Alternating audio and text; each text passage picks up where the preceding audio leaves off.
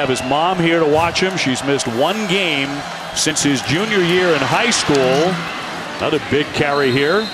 And let's see if that's the one that gets him the record stopped by Kayvon Wallace. And it is enough for a first down. He picks up 10 yards right there.